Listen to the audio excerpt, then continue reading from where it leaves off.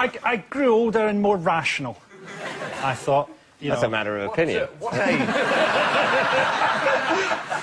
what, what age were you when this rather peculiar thought came to you? uh, quite early, but then, you know, up until I was maybe seven or eight, I was quite afraid of that. So is it where your interior monologue was in the voice of, of a gruff bear? I thought, I thought that there was a chance Yeah. That my life was, was a, simply a fiction. We've all felt that, haven't we? Yes, but not in, not in a bear society. What does the bear look like? Was he like a little cartoony bear, or did he look very natural, like a natural bear? He was reading a book, so he didn't look that natural. it came from a storybook I had, which was called Tell Me Another Story, and it was about a bear reading stories to his little bears. Did you have any like relationship with him? Did you converse with him, or is he just reading? You can't converse with him. The, the- the bear, he's in the bear's But you world. say he's very junior to the bear. You can't, you can't jump out of the book that is your life and talk to the person reading it, can You you? can't say why is this happening, Bear. No! Otherwise, the bear's just going to go, and then, why is this happening, bear? said Frankie Boyle. I don't like this bit of the story. Yeah, I'll stop reading it, shall I? No, no, no, screamed Frankie Boyle. Don't stop reading the story, is the end of my life. But this is definitely not suitable for little bears.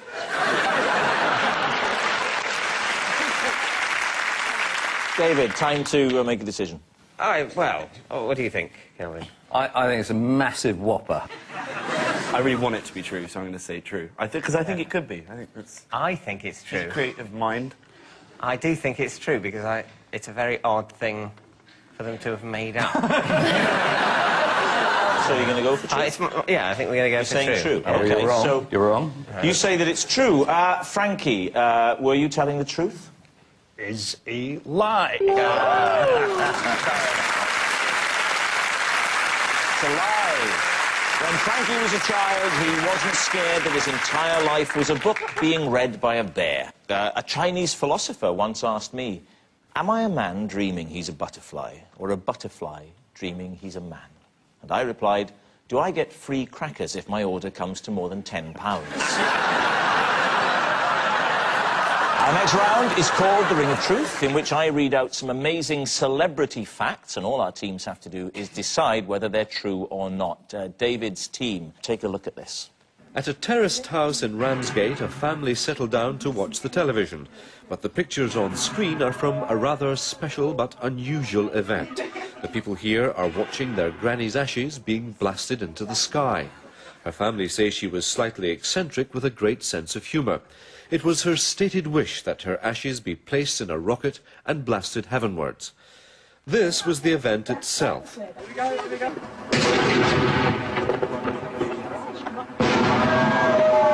Bye, Granny!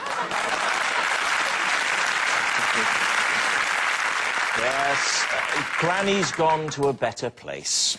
Next door's garden. well, here is the related fact then for David's team. Mick Jagger has been asked by a company if they can sell his ashes in collectible egg timers when he dies. they offered Mick Jagger, and it seems too good an opportunity to waste, Mick Jagger, they offered. Uh, it's not up there with my Ronnie Corbett. I'm not going to say for a second that it is, but it was worth an airing. But what would Ronnie Corbett sound like if he was singing a Mick Jagger song? I can't get no satisfaction.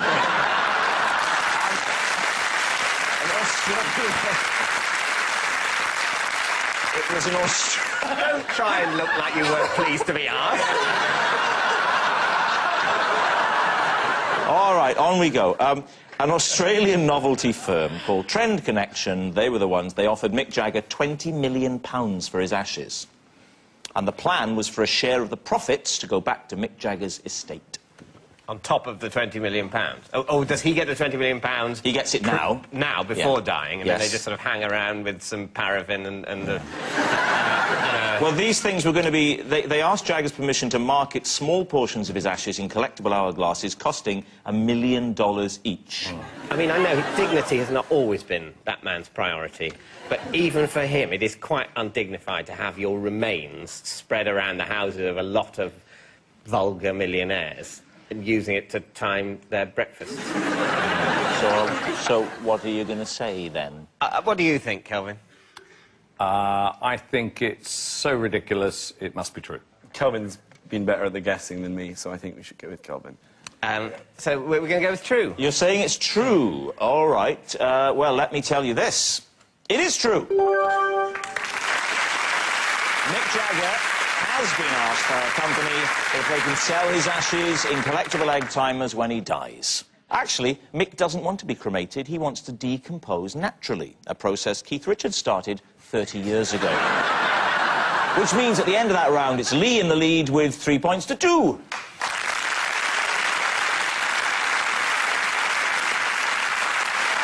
Our next round is called This Is My, where we bring on a mystery guest who has a close connection to one of our panellists. Uh, this week, each of David's team will claim it's them that has the genuine connection to the guest, and it's up to Lee's team to spot who's telling the truth. So, please welcome this week's special guest, Terry.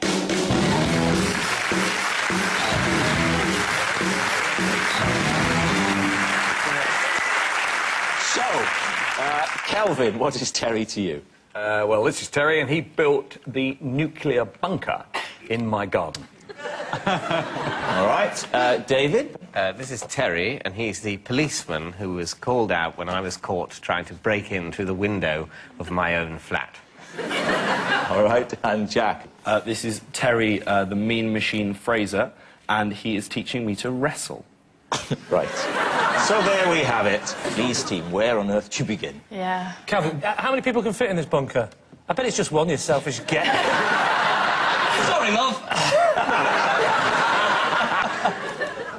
Four at a push. So why do you feel?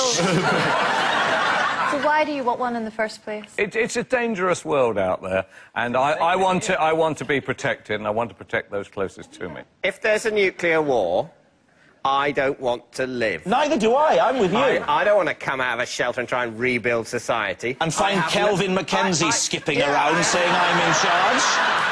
I have no skills.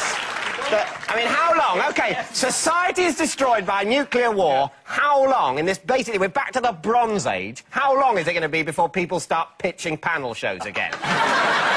it's going to be at least 2,000 years. Love to see you in a Mad Max type of society. As everyone's, as everyone's holding off a biker gang, and you're going, I can think of an amusing reason why one of these four might be the odd one out.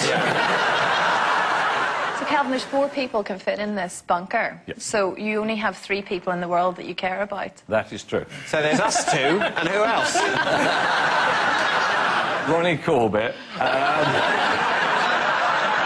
We can live for another 20 years at the world's shittest party. Okay, Jack. And why are you learning how to wrestle? Because I'm a big wrestling fan. I've always liked wrestling. I went What- what kind of wrestling? Uh, like WWE. Uh, I went to see- WWE? WWE, yeah, World Wrestling Entertainment. Oh, I thought it was went to WWF. see- oh, They it's had changed to change now. it because the World Wildlife Fund sued them. that's, not, that's not a joke. That's why they had to change Is it. that true? Yeah. Yeah. Yeah. Do you really like it? Yeah, I do. I saw a man who was like seven foot four in little spandex undies, and I felt alive. Amazing. How long have you been learning for? Uh, I've done one lesson, but I'm going to do some more. One lesson. It was really good. What are you learning for, though? Just because you want to be able to wrestle? Yeah, I want to be a, able to wrestle. I want to Who, have many who studies this as a martial arts? You see all the posters, right? Taekwondo, karate, judo, whatever. I'm going to go and learn how to wrestle like a big pretend American. Jack, can you tell us the name of five famous wrestlers? Uh, the Rock, Hulk Hogan, The Undertaker, Go on. Uh, Shelton Benjamin. that's not. That's a bloody Yeah. solicitors. Shelton Benjamin Benjamin. is a wrestler. Is it? Don't, Please don't tell me that you've accidentally been represented in law. Is that what it is? All right, David. Uh, remind us again. Uh, this is Terry, the policeman, who was called out when I was caught trying to break into the window of my own flat. Do we do we believe that, Christine? I can believe you were trying to break into your own flat for whatever bizarre reason, but I'm not so sure To about To live there, to continue to live there. I locked myself out when I, I had a plumber round trying to unblock a drain. I find it difficult to imagine you holding a conversation with a plumber Yeah. as he did the job. Did you actually speak to him in your house? Yes. Did you have a glove puppet on?